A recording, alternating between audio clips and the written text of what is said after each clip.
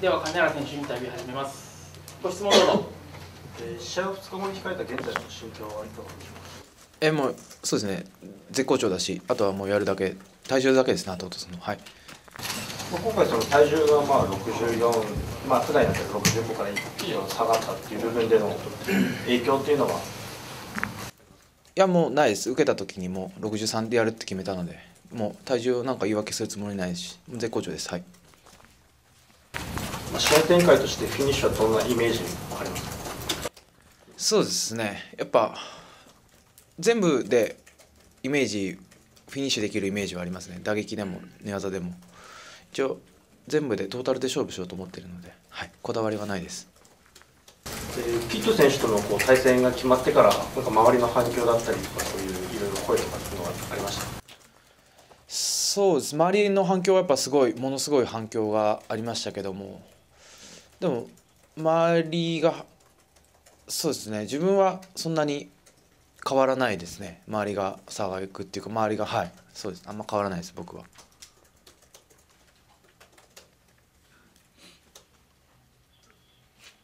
どどういうところにこう力を入れて練習されてきました？そうですね。あの決まってからそんなに時間がなかったのでキット選手の対策というよりもサウスポー対サウスポーに重点を置いて練習してきました。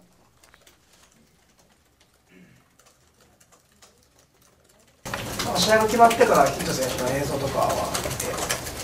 見てしました？えっと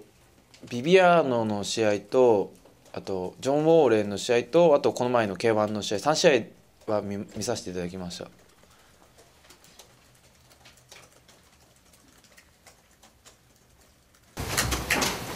実際こう見てどうですか対戦するイメージというかそういう頭の中に浮き上がってきますうーんまあちょっとタイプがその3選手と自分のタイプがちょっと違うので重ね合わせられるって言ったらちょっとあれなんですけどもでもイメージとしてはしやすいというか戦いやすい相手だなとは思いますね僕僕にとっては。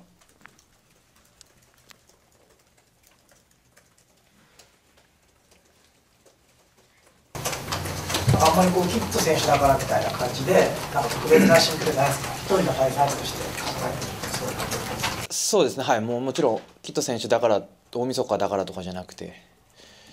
もう本当に普通の普通な感じ普通っていうかいつも通りな大切な試合っていうだけです。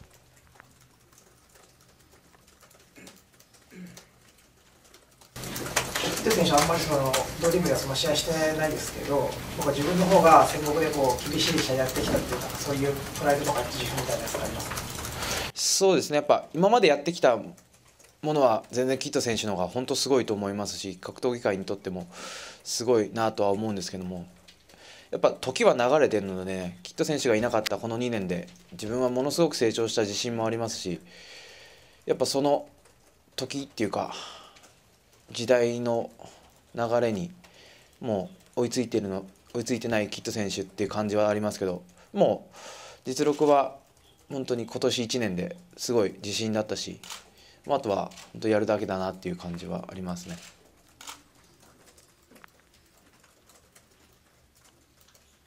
あのチャンピオンとして対抗戦に出ますけどその対抗戦という部分で意識することとか何かありますか？対抗戦という意識はないですけどもないっつったらまあ変なんですけどもやっぱベルト巻いてる以上戦国の戦国を戦国のフェザー級を背負って出るっていうそのまあ背負うっていうかまあなんていうんですかねチャンピオンとしてまあやっぱ俺が負けたら戦国も舐められちゃうんでその辺は本当負けられない試合っていうかまあ勝ち負けにはこだわりまあこだわってた試合はしたくないんですけどもどうしてもやっぱ、うん、勝ちたいですね。でもいい試合ができればいいかなっていうまあいろんなまあ答えは1月1日に出ると思うんでそんな感じでいつも通りやっていきたいですね。